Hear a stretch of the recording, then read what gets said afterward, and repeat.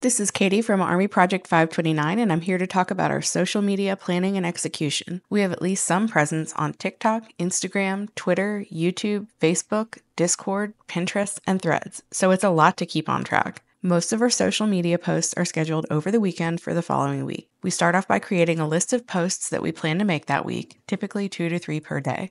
Then we note which format is needed, image or video, and which platforms it should be posted to. Finally, we create the content, images or videos, and write captions for each post. Creating the video content, especially, is a team effort, and we couldn't do it without our amazing video editing team composed of both admins and volunteers. You may have seen our Jin 100 Days of Dad Jokes series counting down the last 100 days of Jin's military service. Can you believe it's almost over? We love coming up with special ideas to commemorate occasions, and we're already brainstorming countdowns for the remaining members. Once we have this plan written down, we can get to the actual posting.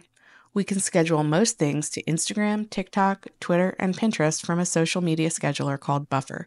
For other platforms, we try to split it up between a few people so no one has too much on their plate. Once the posts are live, we also need to read and respond to comments. We try to do this at least once per day on each platform, though sometimes the day gets away from us.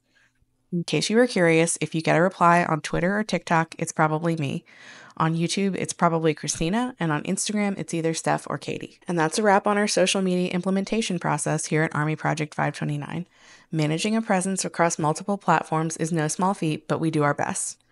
Thanks for tuning in, and we hope this gives you a better understanding of what goes on behind the scenes.